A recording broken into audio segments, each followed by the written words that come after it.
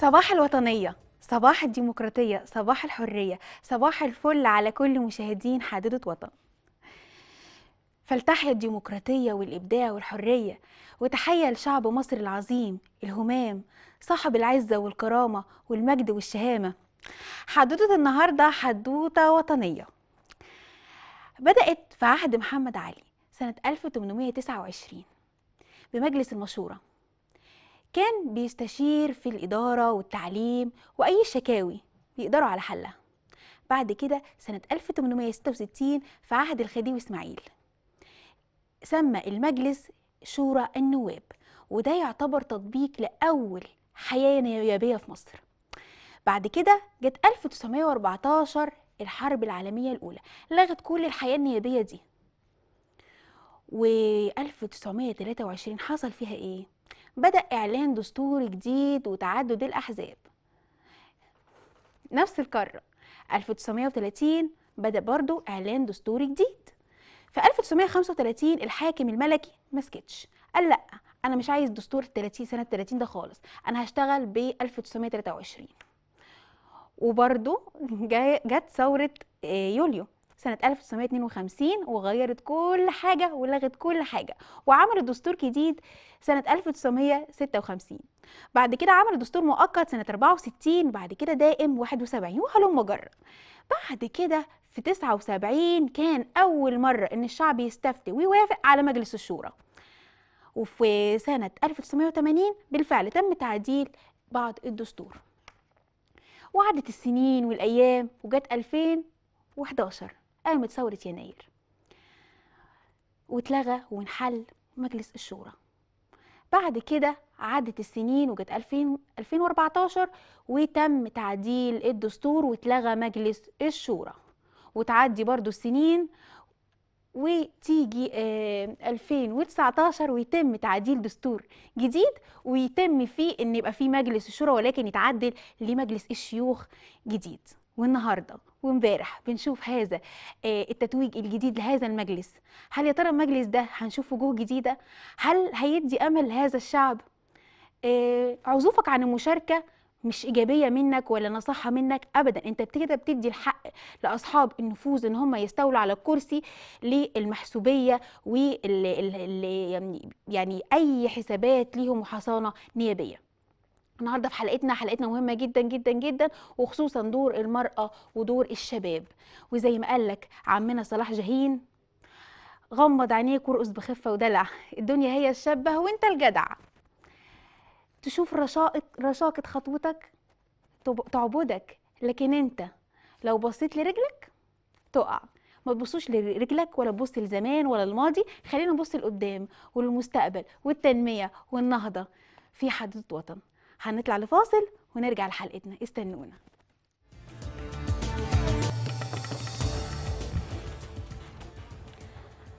ورجعنا لكم تاني ولسه بنكمل معاكم حلقتنا.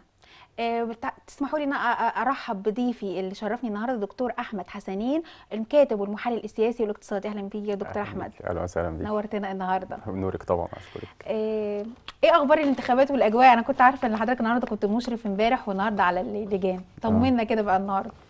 يعني الدنيا لسه مش مش في أحسن يعني كتنظيمين الدنيا كويسة. آه بس لسه المشاركة بقى مش مش بنفس القوة يعني شوية عشان آه غالبا عشان مجلس الشيوخ لسه حاجة جديدة. أو ممكن كمان عشان كورونا فخايفين من التجمعات هو عادي هو المصريين ما بيخافوش قوي من التجمعات يعني. وكمان أنا شايفة برضو إن ما لحقوش ال- ال- المرشحين إن هم يقدموا برنامج قوي أو الناس تعرفهم كويس. يعني كل المواطنين لما بنسألهم دلوقتي بيقولوا أنا ما أعرفش أنتخب مين؟ أنا مش عارف أنا ما أعرفش برنامجهم إيه. طب أنا هنزل أرشح مين؟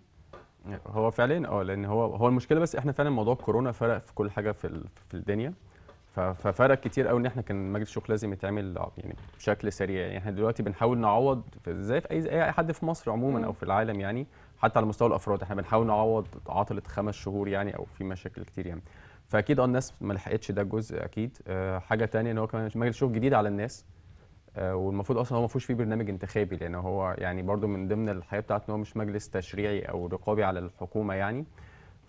فشوية اللي بيسوق المفروض كمرشح هنا هو بيسوق نفسه. آه، أفكاره كشخص إن أنا ب ببقى م- يعني مستأمن هذا الشخص إن هو ممكن قادر يعني يطرح أفكار وما شابه يعني أو أفكار مشاريع أو غيره.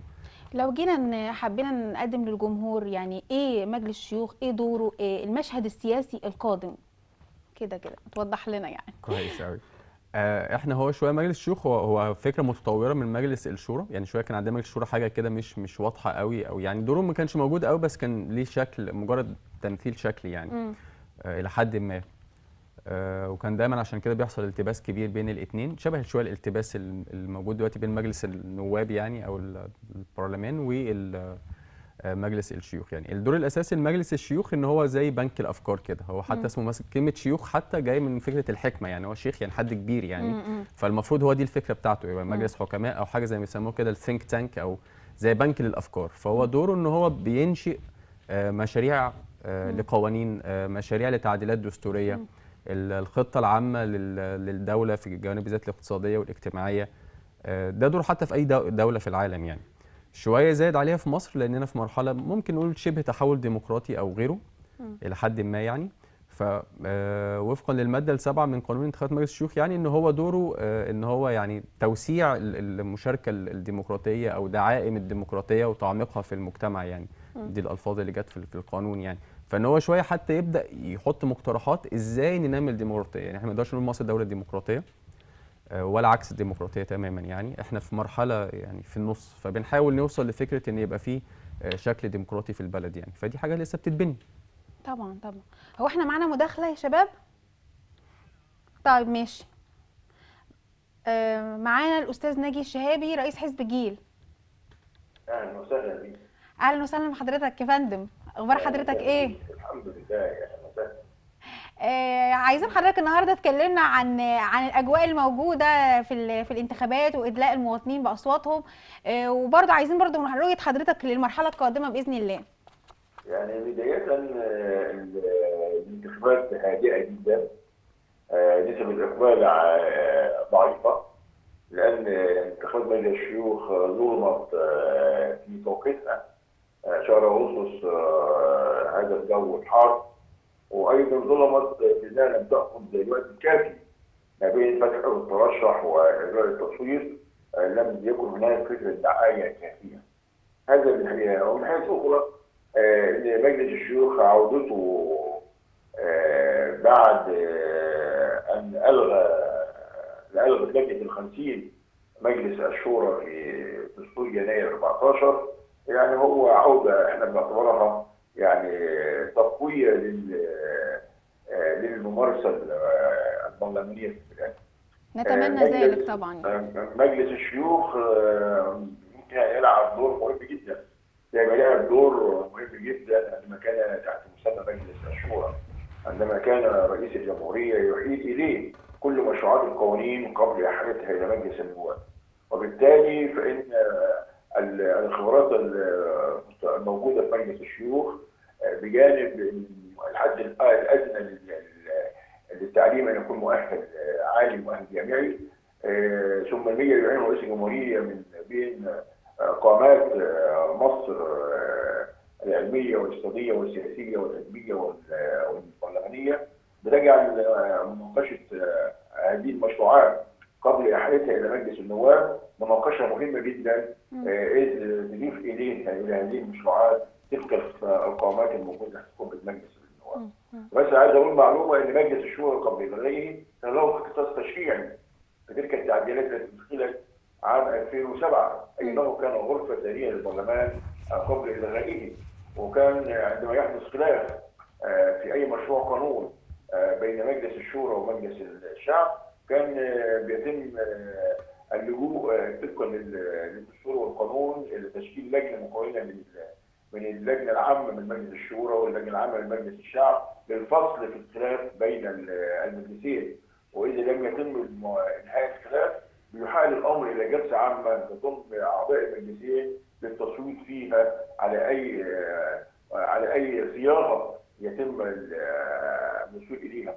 لأن مجلس الشورى كان غرفة تشريعية آه، قبل آه، آه، الغي وكان في هذه الحالة كان يجب موافقة المجلس على كل المشروعات المعروضة عليه.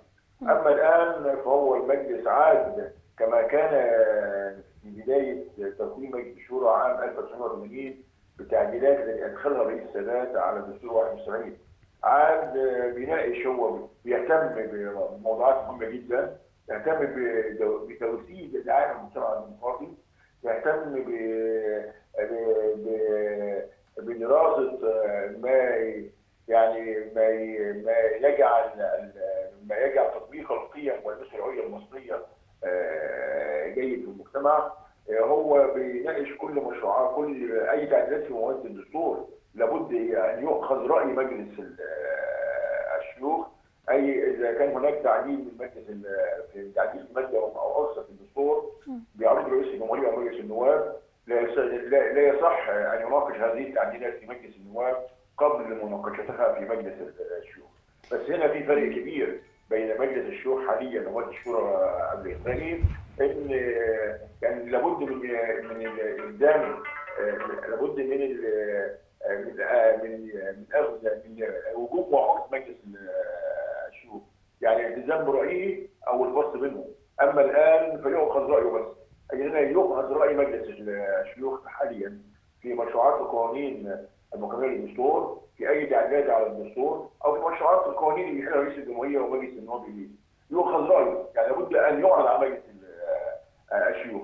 ولكن ما ينتهي إليه مجلس الشيوخ من رأي غير ملزم لمجلس آه، أنا بشكر. حضرتك جدا يا دك... يا أستاذ ناجي بجد نورتنا ومعلومات مفيدة جدا جدا جدا. شكرا لحضرتك. آه هنسال بس هنرجع تاني للدكتور أحمد. حضرتك آه مشاركة الشباب بقى يعني دور الشباب ده مهم جدا. طبعا. آه في الحياة السياسية. أوكي. آه هو شوية لسه دور الشباب مش مش مش مش أفضل حاجة. هو مصر طبعا يعني غالبية ال- الشعب من الشباب يعني أكتر من في احصائيات بتقول إنه ممكن داخل في 60% يعني من من المكون ال- العدد عدد نسمات يعني ال- الشعب المصري شباب. مم.